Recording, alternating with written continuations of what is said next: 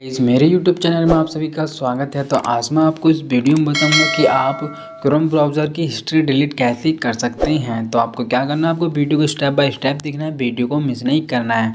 तो आपको क्या करना होगा? आपको अपने क्रोम ब्राउज़र को ओपन कर लेना है।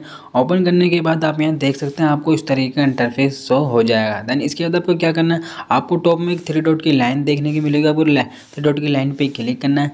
क्लिक करने के बाद आपको यहाँ काफ़ी सारे ऑप्शन देखने को मिलेंगे। New tab new incognito tab then इसके बाद आपको थर्ड में एक ऑप्शन देखने को मिलेगा हिस्ट्री तो आपको हिस्ट्री पे क्लिक कर देना है। क्लिक करने के बाद आप यहाँ देख सकते हैं, आपको यहाँ काफ़ी सारे यहाँ आपको ये हिस्ट्री देखने को मिलेंगी। तो अगर आप इन्हें डिलीट कर दे तो आप डिलीट नहीं कर पाते एक एक करके यहाँ अगर आप इस पर क्लिक करेंगे, इस तरीके के एक एक करके यहाँ डिलीट होगी। तो हमें ये सारी हिस्ट्री एक साथ डिलीट करना है।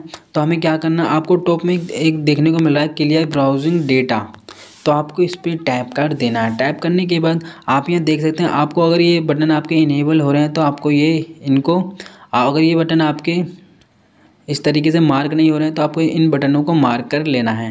मार्क करने के बाद आपको फिर से बेसिक पे जाना है। बेसिक पे भी आपको ये सभी मार्क कर लेना है। देन इसके बाद आपको यहाँ एक बटन देखने को मिलेगा ऑल टाइम तो यहाँ अगर आपका कुछ और last seven day last four weeks all time last hour अगर आप चाहते हैं कि ऑल टाइम जितने भी हिस्ट्री हैं सभी एक साथ डिलीट करना चाहते हैं तो आपको फिर से एडवांसड पे क्लिक करना दैन इसके बाद आपको क्लियर डेटा पे क्लिक कर देना है। दैन फिर से आपको क्लियर पे क्लिक कर देना है। तो आप यहाँ देखें क्लियर क्लियरिंग ब्राउजिंग डेटा तो थोड़ा आपको वेट करना होगा। आप यहाँ देख सकते हैं तो थोड़ा प्रोसेस चल रहा है।